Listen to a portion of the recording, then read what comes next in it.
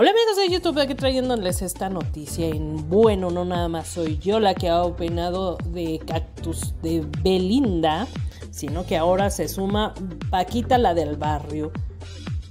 Le mandó este mensaje textual. No tiene caso derramar una lágrima por nadie. Me ha tocado vivirlo y no he ganado nada con eso. Yo ya no voy a llorar por nadie y ella tan joven menos debería destacó que los asuntos del corazón no pueden forzarse y es mucho mejor cambiar de aires que vivir triste por el desamor. Belinda tiene la facilidad de conocer a otra persona y olvidarse del otro. Además, hay que entender que no se le puede obligar a un hombre a quererla.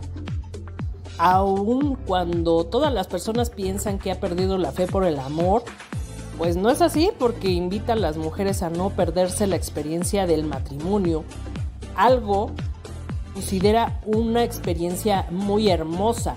Estuve casada 31 años y él murió, se fue, me quedé sola, pero di todo de mí. La gente que quiera casarse, que sea por amor, no por interés, que sea por amor.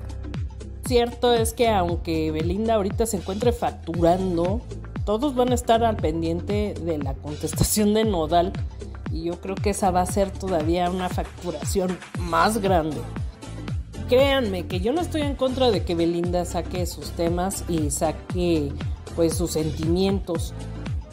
Después de dos años del truene y una hija de por medio, pero pues cada quien decide si le gusta, si no.